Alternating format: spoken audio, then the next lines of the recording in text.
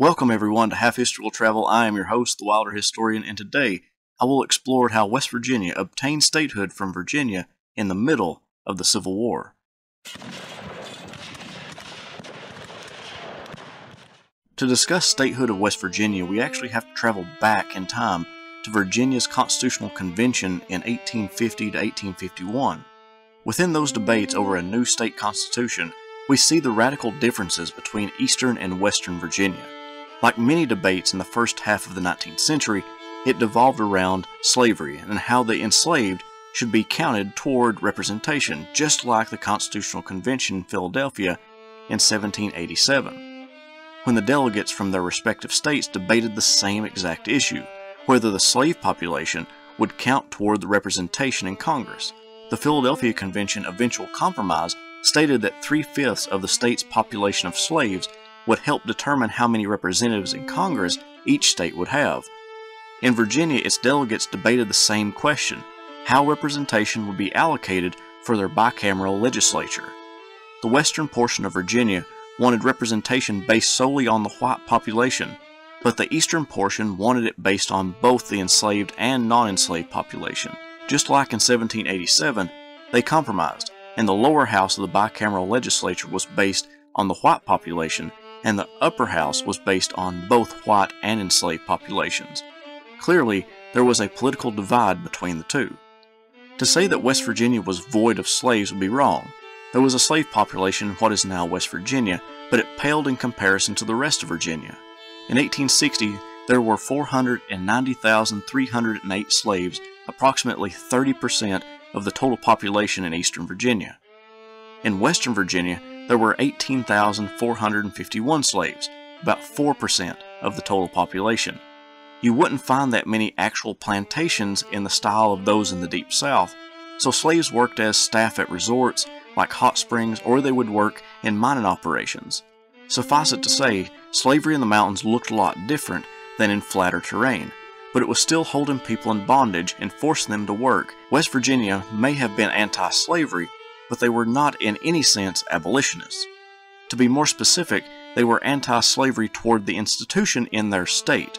The tax breaks made the wealthy slave owners more wealthy, and that group's political power alienated the western counties and deprived them of representation. Furthermore, their anti slavery stance was also anti black. They did not just want slavery out of their state, but free blacks as well. As one historian put it, acknowledging the region's anti slavery stance did not involve abolitionism or free soilism or any other ism, deemed in any quarter disreputable, but is simply the assertion of manly equality of the citizens of a sovereign state. The area's hatred for slavery reflected its disdain for black people, and Northwestern Virginians' anti slavery vision was nearly as exclusionist as Eastern Virginians' advocacy of the expulsion of free blacks. They believed that slavery's westward expansion debased white society and threaten the economic and moral health of democracy. This divide between the two sections of the state of Virginia brought about a secession movement in 1853 by the panhandle of the state that was sandwiched between Ohio and Pennsylvania. The panhandle wanted to be annexed by Pennsylvania because they believed they had more in common with them and would gain more political power being part of that state. However, the movement was snuffed out by politicians in the East. In early 1860, when the legislature considered raising taxes to finance military mobilization, Northwesterners objected to a tax on wool, a product raised mostly in Western Virginia, while Eastern tobacco, corn, and wheat remained untaxed. This reflected a large tax policy that exempted slaves under age 12 and only nominally taxed other slaves, while taxing land and livestock according to their full value a Northwestern newspaper complained that the tax policy sought to encourage and foster slavery. Why should wool growers be singled out as a special subject of taxation? Should Northwestern Virginians serve as bearers of wood and drawers of water for your worse than Egyptian taskmasters? When Lee County's David Miller proposed a resolution in January 1860 equalizing taxation, a Northwesterner concluded that there was no hope that this just and proper resolution will receive any favor at the hands of this legislature. Truly, slave property was privileged. When the General Assembly considered legislation in early 1860 to mobilize the Commonwealth militarily, Republican George Porter objected. Representing Brooke and Hancock counties in the House of Delegates, Porter declared that the Panhandle would heartily defend the Union. He suggested, moreover, that his constituents would take up arms against Eastern Virginians should they seek to secede. Porter responded to one of his fellow delegates questioning him by saying, The people, I repeat, will go with Virginia when she is right, but when she is wrong, will probably beg leave to differ from her. As a response to the heavily Democrat East that pushed pro slavery agendas through the legislature, West Virginia became a bastion for Republicans, especially for that party's anti slavery stance. Now, with a solid political party back in that region, it gave the eastern portion of the state more trouble politically by opposing legislation that promoted slavocracy. As 1861 dawned, Multiple states had already left the Union, and Western Virginia newspapers urged Westerners to realize that their interests lay outside of the slaveholding East. Should an illegal or irresponsible convention secede, Westerners should be prepared to separate and form a new state. The seeds of secession from Virginia had already been planted and grown roots by 1861, and the war would provide a way for them to officially break away from the vastly different East. Once Virginia seceded, those folks in Western Virginia felt that their concerns were not heard, and the fact that they were so far away from the state capital and its military made it a no brainer for them to side with the United States because they were much closer to federal authorities.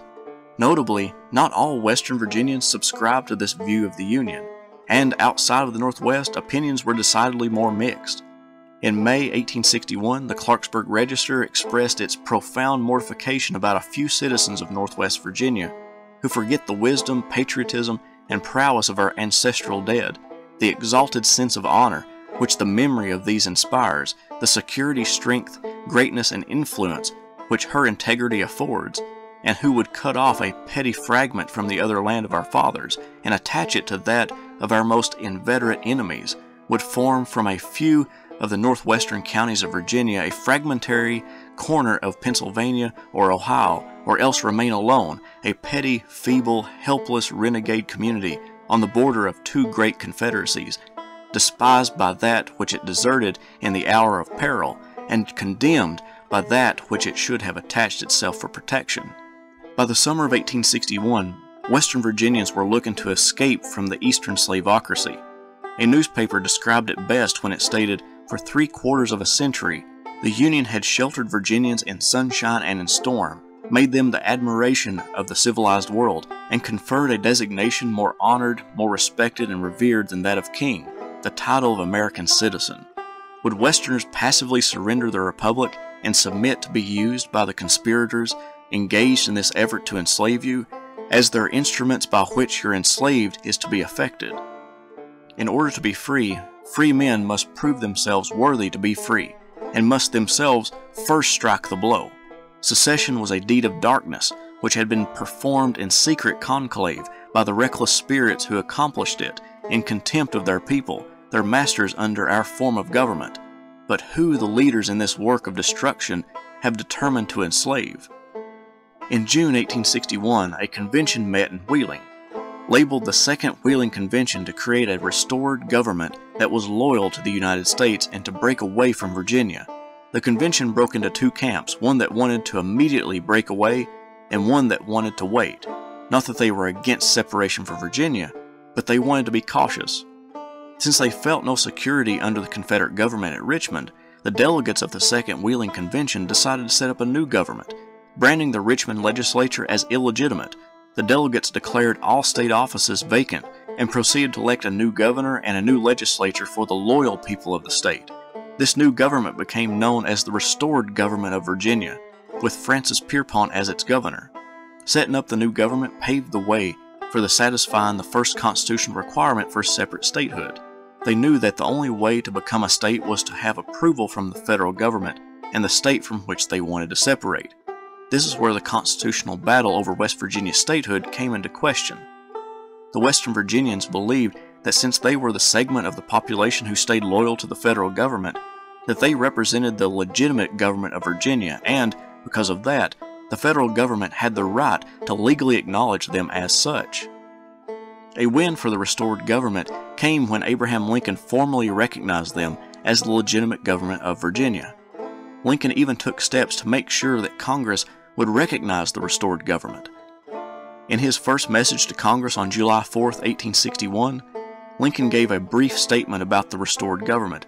He described this government as consisting of loyal citizens and argued that the federal government was bound to recognize and protect the restored government as being Virginia. Western Virginians could hardly have asked for stronger support from the president. Another success came to the West Virginians when Congress seated their two senators, John Carlile and Waitman Willey, recognizing them as the senators from Virginia. Some men in Congress advised them not to seek separation, and if they did so, it should be after the war ended. West Virginians balked at that thought because, as many of them pointed out, if the Union wins, Virginia would be brought back into the Union intact, and the Easterners would take control of the state politics and not let them go. They must act quickly, and it must come before the war ended. Not only was this region supporting the United States politically, but also militarily. An estimated 32,000 soldiers from West Virginia fought for the Union, while only 8,000 fought for the Confederacy.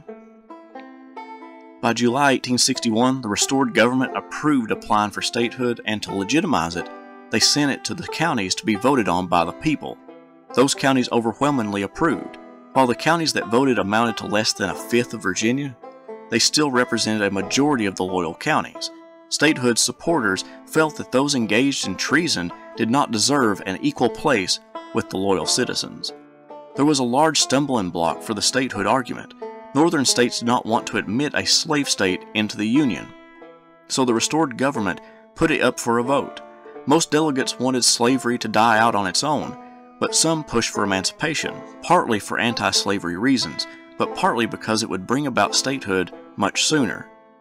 The vote came back, and by one vote, it was decided that emancipation would not be placed in the new state constitution, even though that idea was shot down. Some counties actually put emancipation support on the ballot. The official vote stood at 6,052 for emancipation to 618 against. They hoped that demonstrating the everyday citizens' disdain for the institution would provoke Congress to approve of statehood despite emancipation not being in the Constitution. In June 1862, a bill was put forward in the United States Congress to admit West Virginia as a state. The debate would drag on for months. Slavery was the issue most debated. The bill to admit West Virginia stated that after July 4, 1863, the children of all slaves born within that state would be free. This did not go far enough for many members of Congress, one of which being Charles Sumner, who had been brutally beaten in the Senate by Preston Brooks a few years earlier. He stated that, as he put it, no state shall come into this union with this virus. One of the best proponents for West Virginia statehood was the senator from that state, Waitman Willey. Even though a slaveholder himself, he added an amendment to the bill that stated the ages at which slaves would be free making gradual emancipation a reality. Many members of Congress took Abraham Lincoln's lead and supported any state that would gradually emancipate slaves because it was going in the right direction politically. When the debate ended in the Senate, the bill passed, but now they had to get it through the House. The House pondered the constitutionality of the situation. Did the restored government actually represent the real Virginia? Many said no, that the restored was illegitimate. However, a representative who had battled against the disloyal throng of citizens in East Tennessee, Horace Maynard, pointed out that Congress seated loyal representatives from seceded states, himself included, and asked the question Did secession change the relation of loyal men? With those considerations, the bill passed in the House. Now it was to be signed by the President, who sought counsel with his cabinet. As he explained, can this government stand if it indulges constitutional constructions by which men in open rebellion against it are to be accounted, man for man, the equals of those who maintain their loyalty to it? If so, their treason against the Constitution enhances their constitutional value. Far from viewing West Virginia statehood as an act of secession, Lincoln considered not recognizing the legitimacy of the restored government as perpetuating secession. Therefore, the federal government had to recognize the government of the loyal people as the only legitimate one for Virginia. and if the government consented to the formation of a new state and Congress approved, then all constitutional procedure was satisfied. On June 20th, 1863, West Virginia finally became a state all its own after decades of division between the East and West and years of attempting statehood. Thank you all so much for watching. This video was a blast to put together and I would like to do something like this for each state eventually. Let me know if you like that idea and want to see it in future videos.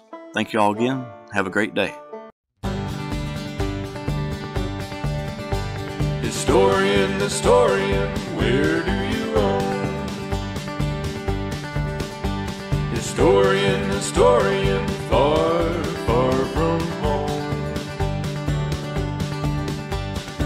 history will travel reads the card of a man. A professor with knowledge in the heartland. To educate the world is his mission. A professor of fortune is a man called historian. Historian.